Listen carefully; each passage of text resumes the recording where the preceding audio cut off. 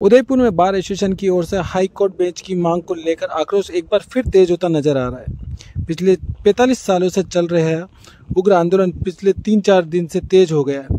गुरुवार को कोर्ट में वकीलों ने कार्य बहिष्कार कर नीम चौक पर सभा की। यहाँ वक्ताओं ने अपनी मांगों को लेकर अपनी भंडास निकाली।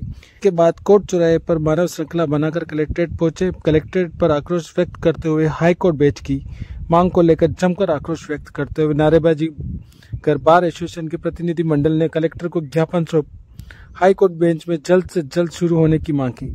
साथ ही चेतावनी दी कि अगर मांग पूरी नहीं हुई तो उग्र आंदोलन किया जाएगा। कि इस स्ट्राइक का कोई भी प्रभाव पड़ने वाला नहीं है उन्होंने आनंद फानंद में स्ट्राइक वापस दे दी।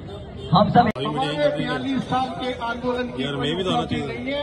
ये हमारी उपलब्धि नहीं है हमारी उपलब्धि तब होगी जब यहाँ पर उच्च न्यायालय की खंडपीठ स्थापित होगी।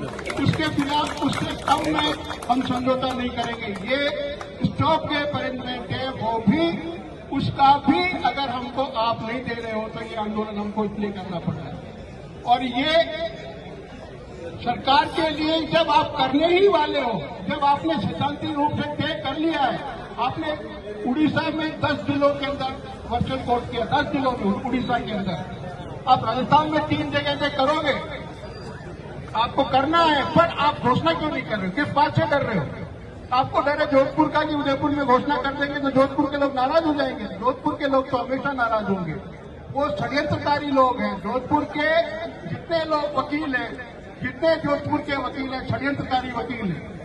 उन्होंने षड्यंत्र करके बीकानेर को हमारे खिलाफ खड़ा किया। उन्होंने कोटा को हमारे खिलाफ खड़ा किया कि उदयपुर में भेज दिया है। पर ये जो बात है हमारी साथियों, हमारी आदिवासी जनता की जो सदियों से न्याय के लिए तरस रही है, उसकी लड़ाई है। हम यहाँ पर हज़ार रुपए में, दो हज़ार रुपए में, पाँच सौ रुपए में पैरवी कर रहे हैं यहाँ पर। हाईकोर्ट को आ जाएगा तो कोई हमारा जेब नहीं भर जाएगा, वकीलों की कोई बहुत बड़ी दौलत नहीं हो जाएगी। उसी पैसे से हम यहाँ भी पैरवी कर देंगे। आप में से बहुत लोग बैठे हुए होंगे साथियों जिनकी यहाँ से जमानतें खारिज हो गई। वो जमानतें हाईकोर्ट में पहुँचती ही नहीं है।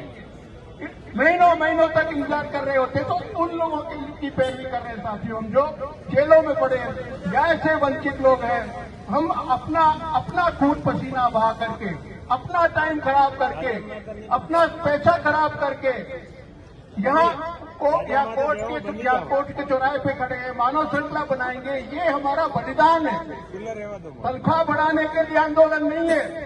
हम तनख्वाह बढ़ाने के लिए आंदोलन नहीं कर रहे कि हमारी फ़ीस बढ़ा दो। हम इस जनता को न्याय के लिए लड़ाई लड़ रहे हैं। इस न्याय की लड़ाई में हमको हमने बयालीस साल लड़ी है और अब समय आ गया कि हमें इस लड़ाई को आखिरी हथौड़ा मारने के लिए आखिरी हथौड़ा आखिरी जीत की तरफ़ आगे बढ़ने के लिए हमें बरजोर पुरजोर तरीके से प्रयास करना है। जो भी कार्यक्रम बने उसमें हम सबको तय दिल से शामिल होकर के इस लड़ाई को आगे बढ़ाना है। बहुत बहुत धन्यवाद। बहुत बहुत धन्यवाद। मैं भी मांगू हम सब मांगे। दोस्तों हमने अभी उदयपुर जिला प्रशासन के अधिकारी माननीय अतिरिक्त